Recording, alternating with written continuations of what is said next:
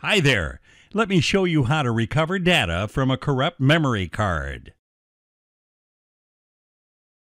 If the memory card is corrupted, a similar error would pop up as soon as you turn on the camera.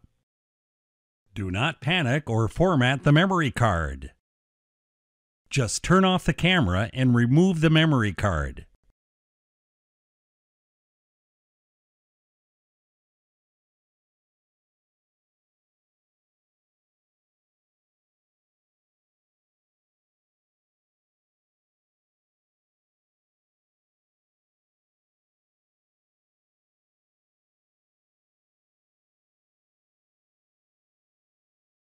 This is an external memory card reader, which connects the memory card to your computer.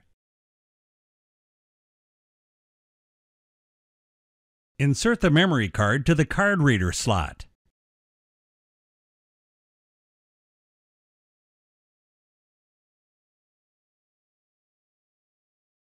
Connect the USB cable to the memory card reader. Now connect the other end of the USB cable to the computer.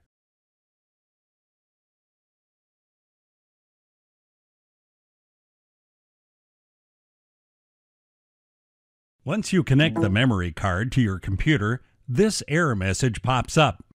Do not format the memory card. Just click on the Cancel button.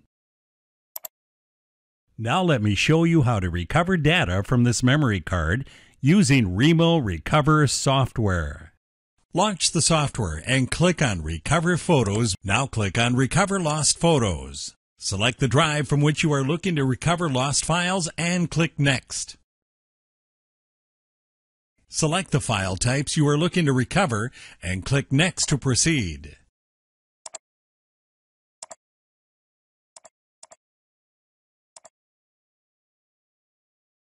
Once the scan completes, software will display the data on this window. Now select the files or folders you would like to recover and click Next to continue. Now click on Browse button to select a location for saving the recovered data.